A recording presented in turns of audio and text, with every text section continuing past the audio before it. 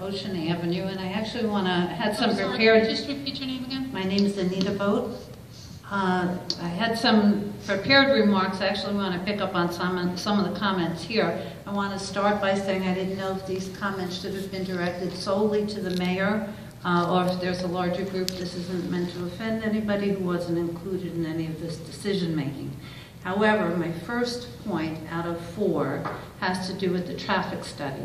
And rather than what I was going to say before, let me just ask a simple question. Was a traffic study done? I can't answer that. You'd have to ask either the public safety director or business administrator.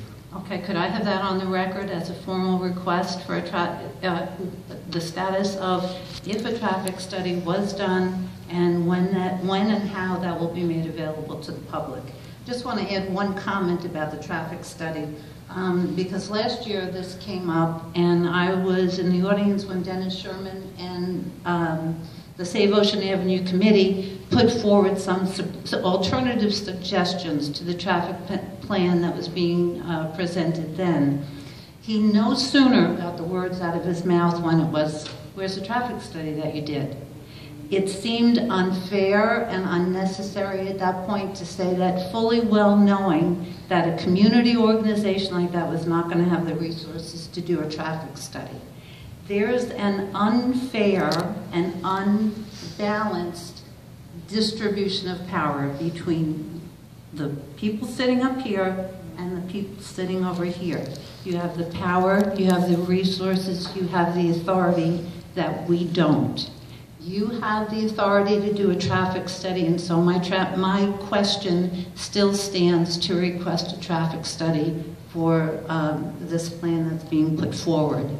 The second point that I want to make is on safety, and I think we've all hit safety. In my heart, I want to believe that everything is being done for the safety of uh, our families, our residents, everybody that comes to the Jersey Shore.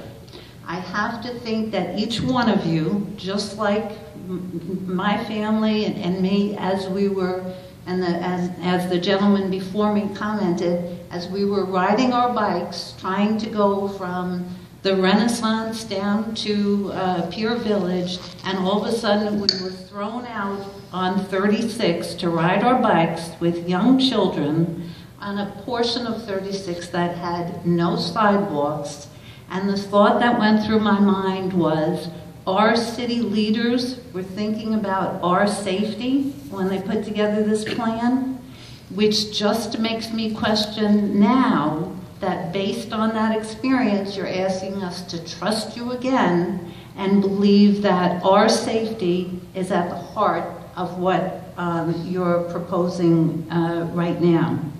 Um, and if all was said and done, if the plan that's being suggested is that safe, why is it necessary to put specials on to monitor that property for added manpower, for added use of resources?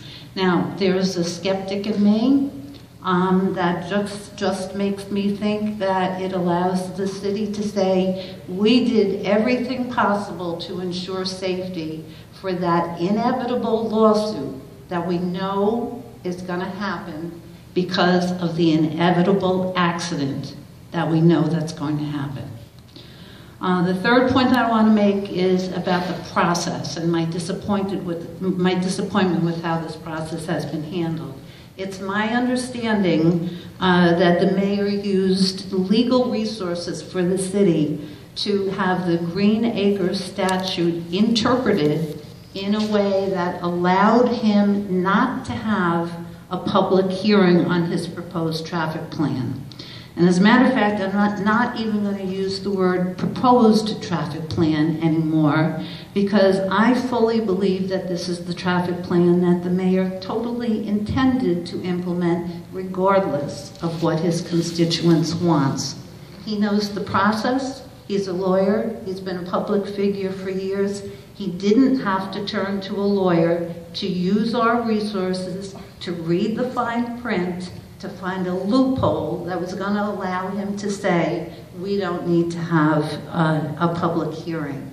It's that, it's that lack of transparency that doesn't speak well for him and it's the kind of representation that I think is not what we as residents of this area um, deserve. That unequal distribution of power and unfair use of power was taken advantage by our lawyer, uh, by our mayor.